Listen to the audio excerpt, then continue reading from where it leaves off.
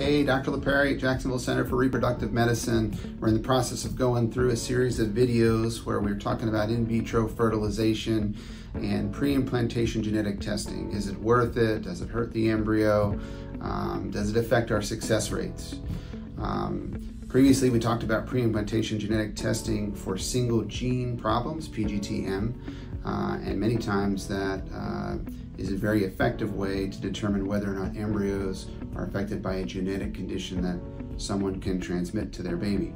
Um, but basically, when we do pre-implantation genetic testing and the embryo uh, undergoes a biopsy of the cells that become the placenta, it's kind of hard to think, you know, wouldn't the embryo be damaged by doing that?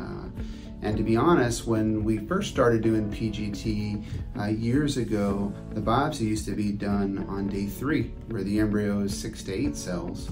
Um, and we did find that taking one cell from the embryo made a difference actually. The implantation rate goes down. So we were really concerned that we were potentially causing a reduction in pregnancy rates.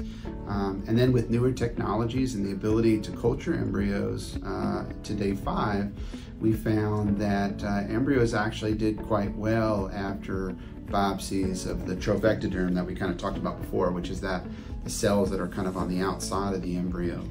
Um, so we haven't found that there's um, uh, reductions in uh, fertility rates really, or doesn't seem to be that there's damage done to the embryos, although I would argue that um, a lot of times when you talk to embryologists, they, they probably would rather be non-invasive on the embryo if they could many times. And, um, you know, we tend to kind of uh, agree with that unless it's going to make a really big difference for, for someone's family.